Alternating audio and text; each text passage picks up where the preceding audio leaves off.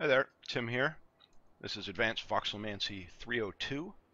In this episode we're going to take the imperfect corner voxel we made in episode 301 and make it a perfect corner voxel. To do that, however, uh, before I do that, I'm going to demonstrate a behavior or a principle um, of the shrink tool uh, that we're going to use to our advantage uh, to make that happen. So I'm just uh, I just selected my offset um, voxel right there and I'm just going to drop it down here on top of my anchor and shrink it and putty it to get it back and copy the shrunk version and undo a couple of times. Alright we're going to take the shrunk version here and we're going to drop it down five times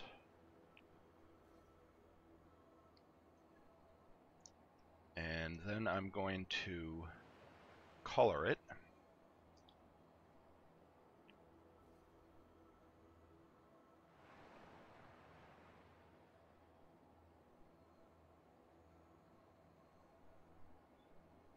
And then we're going to drop it down five more times between stretching out the brown ones. The whole point to this exercise is just so that we have different heights. So you see we have a pole of offset voxels, um, some stretched, some shrunk. If I take this, like that, now remember we have, um, it's offset one up, so I'm selecting one below and one here, and this is our entire shrink, all right?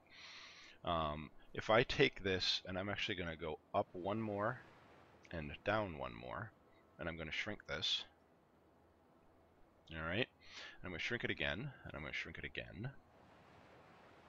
Now, you notice that what it's doing is it's shrinking the diameter, and it's trimming from the top and the bottom, but what it has done is take the ones in the middle and basically snap them to grid. All right, so that it's equalized the heights of the ones in between. All right. So this principle of it equalizing the heights of the center voxels um, is the principle that we're going to exploit. All right. So again, we're just going to drop a couple of anchors right here. And I'm going to create an offset corner from our point right here. So I'm going to take our point, I'm going to place it one above like this, which stretches out the point to the one above. And, and you'll note, by the way, that this is imperfect. All right, um, It's kind of hard to see in the video, but if I copy out this stretched offset voxel, we'll undo that. So the one I'm working with here now is, whoops, uh, is that. All right, so it's an offset corner height, and you see right at the top right there, and I can't know if you can quite tell in the video, but this is not lined up.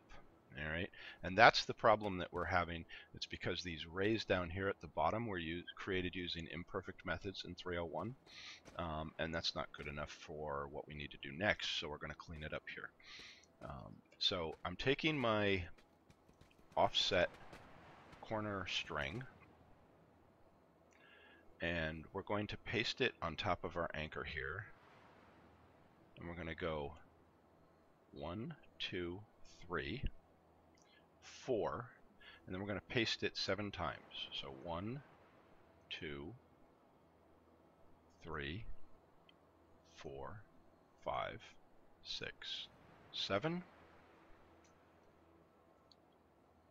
And we're going to um, go up one, two, three, and up nine. All right.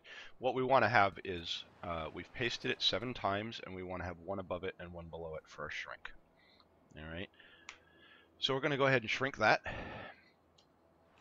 and then putty it. So one, two, three, four, five, six, seven. We're going to shrink it again and putty it. One, two, three, four, five, six, seven. And shrink it again and putty it. One, two, three, four, five, six, seven. All right, and then we're going to choose one of the middle ones.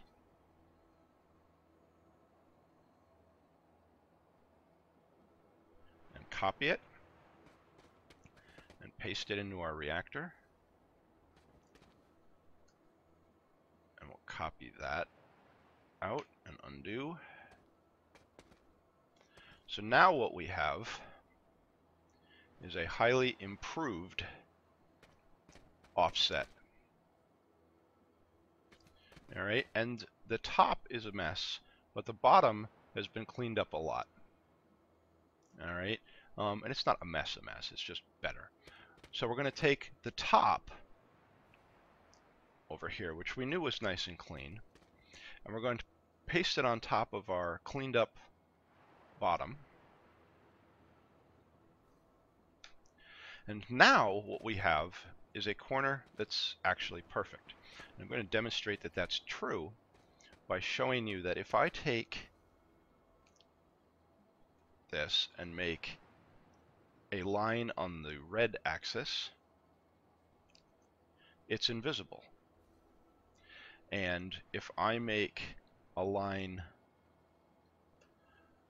on the green axis, it's invisible. And if I make a line along the blue axis,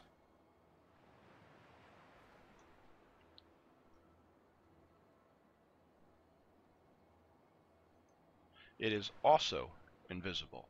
And what that means is that I have a point where all of the reactors are going to exactly the same point right there.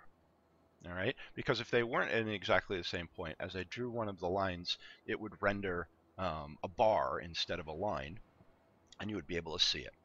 All right, so that is how we use the uh, snap to grid shrink principle, or call it something, um, to clean up our imperfect corner into a perfect corner.